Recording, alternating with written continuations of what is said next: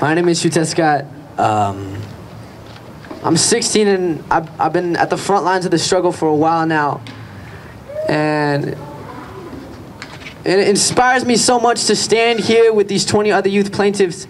And every plaintiff has a story. And every plaintiff has a way in which they're going to be impacted by climate change or already have been impacted by a global problem created by past generations. And this is not easy work to take time out of our lives to come and do this. Thank you to each and every one of you, to each and every adult who has helped sacrifice to make this happen today. We are making history.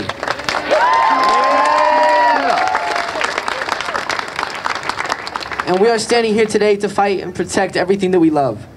From our land to our waters, to the mountains, to the rivers and forests. To fight for our family, for future generations, for our children, for the planet that we will leave them. We stand here today changing history because this is the moment where we decide what kind of legacy we are going to leave behind to future generations. And we're not heroes, and we're not any different than any other young people on the planet. We have the uh, amazing ability to be able to come together like this.